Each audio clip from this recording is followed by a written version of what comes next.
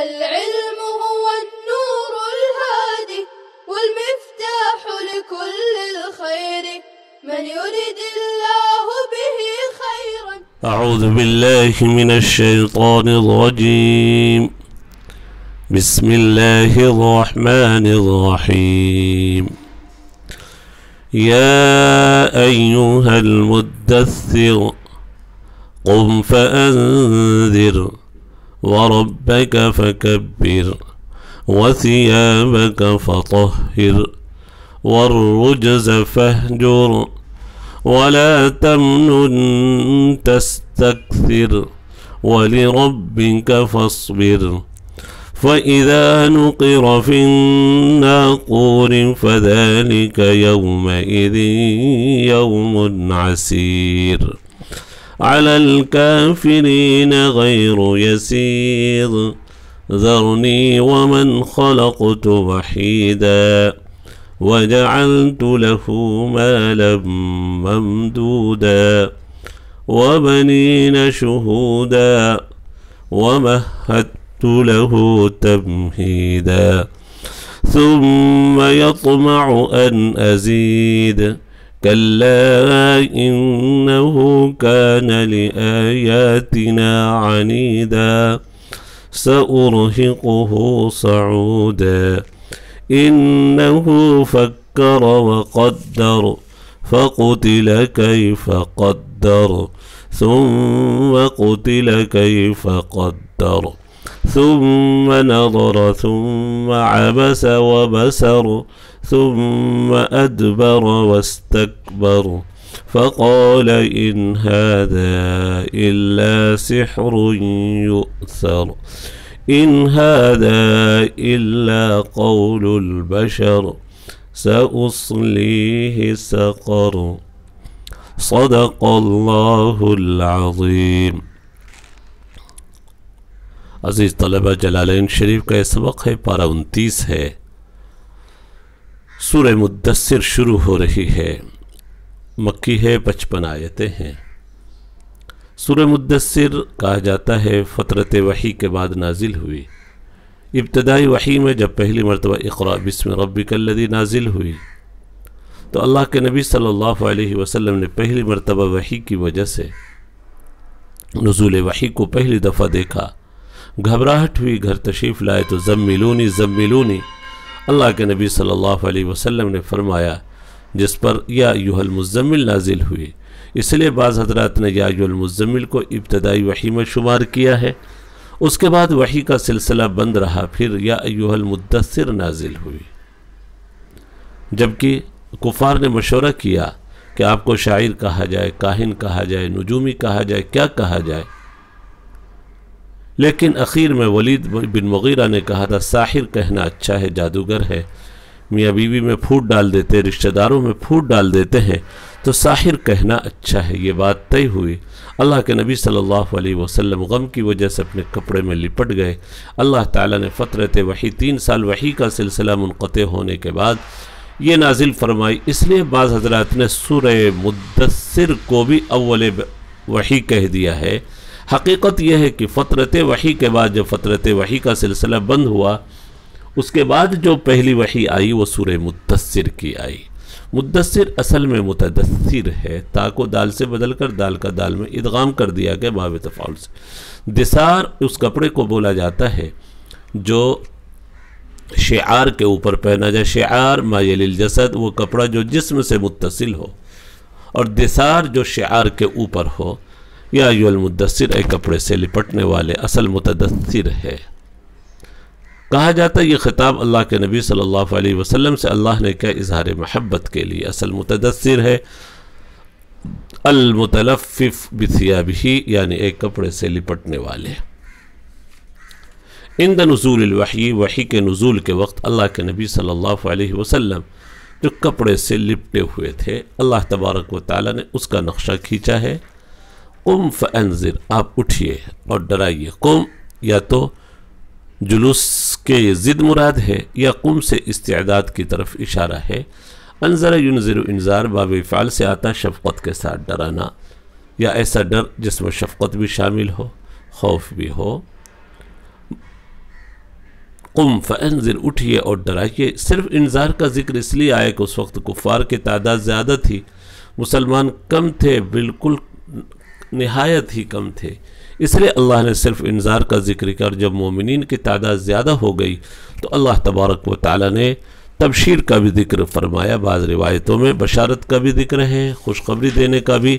انا ارسلنا کا شاہدا و مبشرا و نذیرا انا ارسلنا کا شاہدا و مبشرا و نذیرا مبشر کا بھی ذکر آیا۔ قم فانذر، اے خوف اہل مکہ بالنار ان لم یؤمنوا یعنی ڈرائیے اہل مکہ کو جہنم سے اگر وہ ایمان نہ لائیں۔ وَرَبَّكَ فَكَبِّرْ اپنے رب کی بڑی بڑائی بیان کیجیے یعنی کفار کے سامنے جا جا کر بڑائی بیان کیجیے اس سے مراد تکبیر تحریمہ بھی لیا گیا ہے۔ تکبیر صلاة جو نماز کی تکبیر تحریمہ ہوتی ہے، بعض مفسرین نے اس کو بھی مراد لیا ہے۔ لیکن بعض حضرات نے بس اللہ کی ذات کو شرک سے پاک کرنا، اللہ کی ذات کی بڑائی بیان کرنا مراد لیا ہے۔ چونکہ جس وقت یہ آیت نازل ہو رہی ہے، اس وقت نماز کا حکم نہیں آیا تھا۔ اس لیے تکبیر تحریمہ بعض حضرات خود صاحب جلالین عظم عن اشراق المشرقین سے تشریح کر رہے ہیں۔ مشرکوں کے شرک سے بالا تر جانی و رب کا فکبر میں، فا زائدہ ہے۔ رب کا مفول مقدم ہے، کبیر کا بعض نے و شرطیہ مانا ہے۔ یعنی آپ جس حال میں بھی ہوں اللہ کی بڑائی، مہما یکم من شعین فکبر رب کا جس حال میں بھی ہوں آپ اپنے رب کی بڑائی بیان کیجیے۔ وسیع کا فطہر، اپنے کپڑے کو پاک رکھیے۔ اپنے کپڑے کو پاک یہ بھی مفول مقدم ہے۔ ایک تو کپڑے کی پاکی، نماز کے لیے عام حالتوں میں بھی ایمان کو پاکی کا، پاک رکھنے کا، پاک رہنے کا حکم دیا گیا۔ اور طہور و شطر الایمان کہا گیا، پاکی آدھا ایمان ہے۔ عام حالتوں میں پاک رکھنے کا حکم اور پاکی کو جو آدھا ایمان کہا گیا یعنی ظاہری پاکی آدھا ایمان اور باطنی پاکی دل کو بھی کینے حسد سے، بغض سے، ساری چیزوں سے پاک کر لیا۔ تو باطنی بھی پاکی پاکی حاصل ہو گئے تو ظاہری پاکی آدھا ایمان، باطنی پاکی آدھا ایمان، دونوں طرح کی پاکی انسان کو حاصل ہو جائے تو وہ مومن کامل ہو جاتا ہے۔ صوب کی جمع سیاب ہے کپڑے۔ صوب کے معنی پیچھے بتایا تھا، سلمان رجوع کے ہیں، لوٹنے کے ہیں۔ چونکہ کپڑے کی بناوٹ بار بار ہوتی ہے، پلٹا جاتا ہے اس کے دھاگے کو۔ اسی سے تصویب ہے، نماز کی دوبارہ جو دعوت دی جاتی ہے، الصلاح الصلاح۔ طاہر پاک رکھیے کپڑے کو، بعد نے طاہر کو یہاں پر قصر کے معنی میں لیا ہے۔ ہاں قصر چھوٹا رکھیے۔ کیونکہ کپڑا لمبا ہوگا تو نجاستوں سے آلودہ ہوگا۔ عربوں کی عادت تھی اپنے پائجامے کو اظہار کو گھسیٹ کر پہنتے تھے۔ اللہ کے نبی صلی اللہ علیہ وسلم کو اس کے خلاف حکم و ایسا نہ کریں۔ یعنی دوام مراد اب تک ایسا نہیں کیا، آئندہ بھی ایسا نہ کیجیے۔ یعنی نجاسہ اور قصرہ خلاف جر العرب، عرب کے گھسیٹنے کے خلاف فیا بہم خیالہ اپنے کپڑوں کو وہ گھسیٹتے تکبر کی وجہ سے فروبما اصابتہ نجاست بعض اوقات اس میں نجاست لگ جاتی تھی۔ ورغب کا فکبر میں تکبیر ظاہری اور باطنی دونوں کو مراد لے سکتے ہیں۔ تو گویا دو چیزیں آگے نماز کے فرائض میں سے دو کا ذکر آیا۔ ورب کا فکبر تکبیر تحریمہ۔ و ثیاب کا فطہر ہمارے علماء نے۔ نماز کے لیے تکبیر تحریمہ جو فرض ہے رکن ہے، اس کو فرضیت کو اسی سے ثابت کیا ہے۔ اور اسی طریقے سے نماز کے لیے کپڑے کی پاکی جو ضروری ہے، اس کو بھی اسی سے ثابت کیا۔ اور رجز فہجر رجز کی تشریح آپ صلی اللہ علیہ وسلم نے بتوں سے کی ہے، بتوں کو چھوڑے رکھیے۔ وہ جھڑک رج زیر جز رجزن کے معنی جھڑکنا، ڈانٹنا، وہ ایسی چیز ہے جس کو جھڑک دیا جائے۔ ڈانٹ دیا جائے، مومن اس کے قریب بھی نہ جائے۔ جھڑکے والی، جانے والی چیز ہے۔ یعنی گویا مصدر بمانہ مفول ہے۔ مرجوز کے معنی ایسی چیز جس کو جھڑک دیا جائے۔ اس لیے اللہ کے نبی صلی اللہ علیہ وسلم نے رجز کی تشریح یہاں پر بتوں سے کی فسرہ النبی صلی اللہ علیہ وسلم بلاوثان فہجر یعنی آپ تو بتوں کی پرستش سے دور ہی تھے، مراد دوام ہے، کبھی کبھی امر دوام کے لیے آتا۔ ہے اے دم، علی ہجر ہی، اس کے چھوڑے رکھنے پر مداومت اختیار کیجیے، آئندہ اس کے قریب بھی نہ جائیے۔ آئندہ بھی اس کے قریب نہ جائیے۔ ولا تمن تستکثر لا تمن فعل نہیں ہے، من یمن منن کے معنی احسان کرنا۔ ایسا احسان جو عظیم ہو، ثقیل ہو۔ اس لیے کہ اہل لغت فرماتے ہیں، یہ منن سے بنا ہے۔ من ایک بھاری وزن کا نام ہے تو المن النعمت الثقیلہ۔ اس سے فعل بنایا گیا، من یمن منن۔ اور ایسا احسان نہ کیجیے کہ آپ زیادتی کی امید رکھیے۔ ایک مطلب تو یہ ہے کہ اس نیت سے کسی کو نہ دیجیے کہ وہ مجھے لوٹا کر زیادہ دے، ایسا کرنا پیغمبر کے لیے حرام تھا۔ اور عام امتی کے لیے مکروح تنزیحی ہے، کراہت تنظی ممانعت تنزیحی ہے، اس سے بچنا چاہیے۔ کسی کو ہدیہ اس نیت سے دینا کہ وہ مجھے بھی بڑھا چڑھا کر دے بھی غلط ہے۔ امت کو بھی بچنا اور نبی تو اعلیٰ اور اشرف اخلاق پر فائز ہوتے، ان کو تو اور زیادہ بچنا ہے۔ اور ایک مطلب اللہ تمن تستق سے کچھ بھی احسان کیجیے، اس کو قلیل ہی سمجھیے زیادہ نہ سمجھیے چونکہ اللہ ہی کثیر دینے والا ہے، بندوں کے پاس جو کچھ ہے وہ قلیل ہی ہے رب کے خزانے کے مقابلے میں۔ اے لا توت شیئن لتطرب اکثر بالرفع حال۔ تستقصر یہ پورا جملہ حال واقع ہے۔ لا تم، لا تعطي شيء لتطلب اکثر منه وهذا خاص به صلی اللہ علیہ وسلم۔ یہ اللہ کے نبی صلی اللہ علیہ وسلم کے ساتھ مخصوص ہے۔ اس کی ممانعت، لیکن عام امتوں کے لیے کراہت تنزیہی ہے۔ بہرحال وهذا خاص به لانه مأمور باجمل الاخلاق واشرف الاداب آپ صلی اللہ علیہ وسلم کو اجمل اخلاق اور اشرف آداب کا حکم دیا گیا. ولی رب کا فصبر اور آپ اپنے رب کے لیے صبر کیجیے. اسبر کا ایک مفہوم تو ایک عوامر اور نواحی پر اپنے آپ کو جمائے رکھیے یا دعوت کے راستے میں جو تکالیف، شدائد، مصائب آئیں، اس کے اوپر صبر کیجیے. اسی لیے علماء فرماتے ہیں صبر کے معنی حبس النفس کے نفس کو روکنا اور صبر کی تین قسمیں ہیں، صبر علی البلایا صبر علی الطاعات، صبر عن المعاصی یہاں پر صبر سے مراد صاحب جلالین عوامر اور نواحی پر اپنے کو جمانا مراد لے رہے ہیں۔ آپ صلی اللہ فیدہ نقر فی الناقو نقر ینقرو کے معنی ہے بجانے کے۔ نقر کے معنی اصل قرعن کے ہیں۔ آواز کھڑکھڑانا کھڑکھڑانا۔ وہ اعلیٰ بھی کھڑکھڑانے کا ہوگا، مراد سور ہے، ناقور سے۔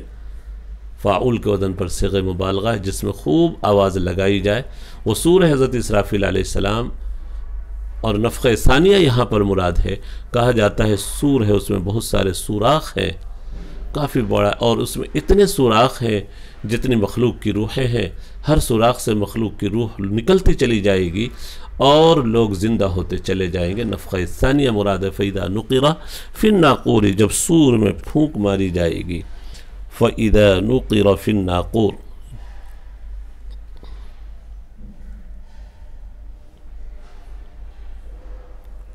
فذلك يومئذ يوم عسير. وہ دن دشوار ہوگا بڑا دشوار ہوگا۔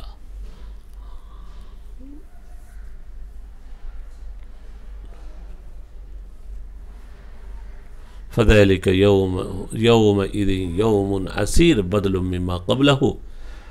ذلك ذلك سے بدل ہے يومئذ بدل مما قبله۔ اور ذلك یہ جو مبتدا ما قبل ما ہے اس سے بدل ہے۔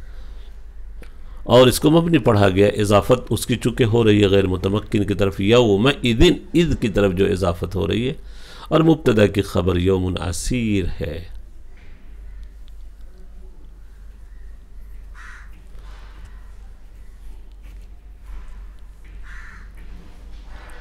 والعامل اذا فيما اذا دلت عليه الجملہ اشتد الامر۔ اشتد معاملہ اس دن سخت ہوگا، یہی جملہ ہے، یہی عامل بنے گا اس کے لیے۔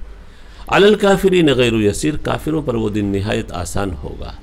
اس سے اشارتاً یہ بات سمجھ میں آ رہی ہے کہ مومنوں کے لیے کافروں پر وہ آسان نہ ہوگا، مومنوں کے لیے وہ دن آسان ہوگا۔ علی الکافرین غیر یسیر سے اشارتاً اور دلالتاً یہ بات سمجھ میں آئی کہ مومنوں کے لیے وہ دن نہایت آسان ہوگا۔ علی الکافرین غیر یسیر۔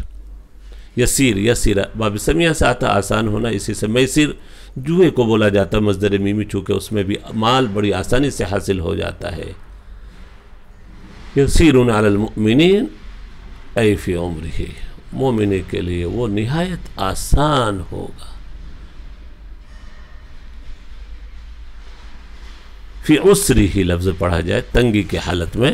ایک طرف کافروں کے لیے وہ دن تنگ ہوگا، لیکن مومنوں کے لیے نہایت آسان ہوگا۔ فی دلالت علی انو یسیر علی المؤمنین ای فی عسری ذرنی ومن خلقت وحیدہ مجھ کو چھوڑ دیجیے۔ اور جس کو میں نے اکیلے پیدا کیا، یہاں پر ومن خلقتی، خلقتنی ومن کا عطف ذرنی کیا متکلم پر بھی ہو سکتا ہے، اور واو بمانا ما مفول معہو بھی مان سکتے مجھے چھوڑ دیجیے۔ اور اس شخص کو جس کو میں نے اکیلا پیدا کیا۔ یا اس شخص کے ساتھ جس کو میں نے اکیلا پیدا کیا، وحید اپنے باپ کا اکلوتا بیٹا تھا۔ اس لیے وحید کہا، یا اس لیے وحید کہا کہ دنیا میں جب انسان آتا ہے تو مال اور اولاد سے اکیلا ہی ہوتا ہے، تنہا ہوتا ہے، تو ولادت کے وقت کی گھڑی یاد دلائی گئی۔ یا اس لیے کہ وہ ولد الزینہ تھا، کے باپ سے الگ کہ اس کو منسوب نہیں کیا گیا۔ ذرنی ومن خلقت وحیدہ، تینوں مطلب ہو سکتے وحید کے۔ حال او من ضمیر، یہ جو ہے وحیدن حال ہے، من سے یا خلق میں جو ضمیر عائد محضوف ہے ضمیر موصول کی طرف لوٹنے والی اس سے اے منفردم بلا الوحید کی تشی منفردم بلا اہل و مال ولید بن مغیرہ مراد ہے ذرنی ومن خلقت وحیدہ وجعلت له مالا ممدودہ ہم نے بہت سارا مال اس کو دیا وجعلت له مالا ممدودہ بہت مال ہم نے دیا ہے واسع متصلا مد یمد مدن سے سے مفول ہے کیا کیا مال یعنی کشادہ جو متصل ہے ضرور کھیتیاں تھی ضرور تھن جانور بہت تھے، تجارت۔ وہ بنی نشہودہ اور پاس رہنے والے بیٹے۔ دس بیٹے تھے تقریباً، پاس خالد بن ولید وغیرہ بھی۔ انہی کے بیٹے حارث بن ولید، خالد حشام بن ولید۔ یہ سب ولید ہی کے بیٹے، باپ تو ایسا۔ باپ تو ایسا، لیکن دیکھیے، اللہ نے بیٹوں کو اولاد نعمت اسلام سے نوازا ہے خالد بن ولید۔ اور اسلام میں بڑا کارنامہ انجام دیا ہے۔ دس بیٹے تھے۔ شہود جو کہا گیا ہے، پاس رہنے والا پاس رہنے والے، چونکہ تجارت، مال و دولت کی کوئی کمی نہیں تھی، بیٹوں کو کاروبار میں نکلنے کی، تجارت کے لیے سفر کرنے کی ضرورت ہی نہیں پڑتی تھی، پاس رہتے تھے۔ یا شہود سے مراد مجلس میں حاضر ہونا، لوگ اہتمام کرتے تھے کہ یہ لوگ ضرور ہماری مجلس میں آئیں یہ شہدور المنا یا یہ کہ ان کی گواہی سنی جاتی تھی تسمع و شہادت ہوں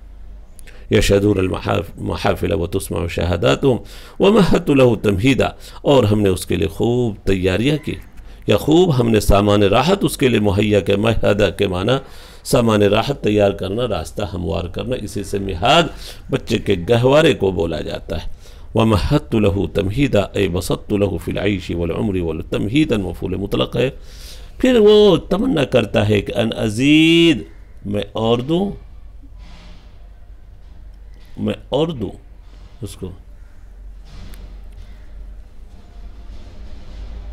جی۔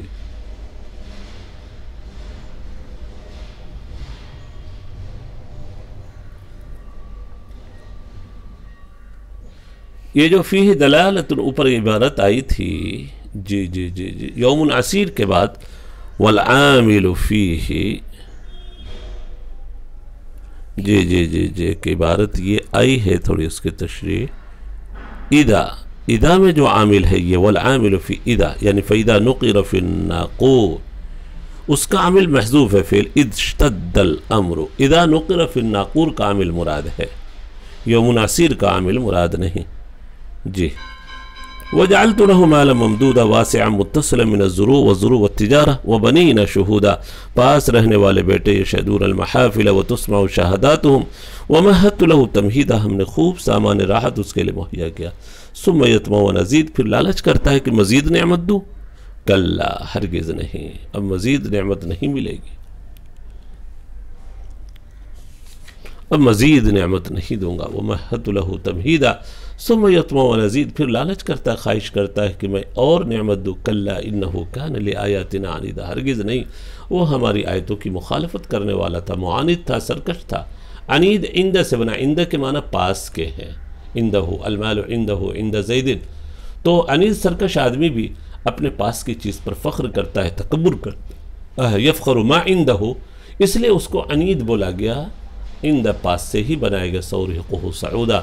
ان قریب میں اس کو ایک پہاڑ پہ چڑھاؤں گا۔ یا مشقت والے عذاب میں اس کو مبتلا کروں گا۔ سعود مشقت والا عذاب براد ہے۔ یا ایک پہاڑ ہے جہنم میں، جس کو سعود، جس پر جہنمی چڑھتا چلا جائے گا، پھر گرے گا گڑھے میں وہاں سے، تاکہ زیادہ سے زیادہ تکلیف ہو۔ ولید بن مغیرہ ایمان کے قریب آ گیا تھا اور ایمان لانے کے لیے فیصلہ بھی کر لیا تھا، لیکن ابو جہل نے سمجھایا اگر یہ شخص ایمان لے آیا تو ہمارا بڑا نقصان ہوگا۔ چنانچہ اس کو پھیرنے کی کوشش کی اور کہا کہ قرآن تو کہانت ہے، قرآن تو شعر ہے، تم اس پر کیسے ایمان لاتے؟ تم کوئی اچھی بات تجویز کرو۔ تو سوچا سوچا اور بہت سوچنے کے بعد اور منہ بنانے کے بعد اس نے طے کیا کہ قرآن کریم کو جادو کہنا زیادہ اچھا ہے جو میاں بیوی اور خاندان کے لوگوں میں تفریق پیدا کر دیتا ہے۔ اسی کا ذکر ان فکر وقدر۔ اس نے سوچی ایک بات، وقدر اور ایک بات تجویز کی۔ فقتل غارت ہو، کیسی بات اس نے تجویز کی؟ فقتل کی فقدر ثم نظر، پھر اس نے دیکھا مجمع کو کہ ہماری بات کا کیا اثر؟ ثم ابسا منہ بنایا۔ ابسا ضرب سے آتا ہے۔ ایسا منہ بنانا جس میں پیشانی پر آنکھوں کے درمیان اس کا اثر ظاہر ہو۔ سکڑاہٹ ظاہر ہو۔ اسی لیے ابس اس مینگنی کو بھی کہا جاتا ہے جس جانور کی دم وغیرہ پر چپک جائے کہ وہ دم پر کیسی بری سوکھی ہوئی معلوم ہوتے، ایسا چہرہ سکڑ جائے تو اس کے لیے ابس کا لفظ استعمال ہوتا ہے۔ کلحن ایسا کہ دانت پر غصے کا اثر ظاہر ہونا گواری اور دانت بجنے لگے تو بسر بولا جاتا ہے بسر یبسر نصر سے آتا ہے۔ سم عبس و بسر پھر اس نے منہ بنایا اور منہ بنایا۔ سم عبس و بسر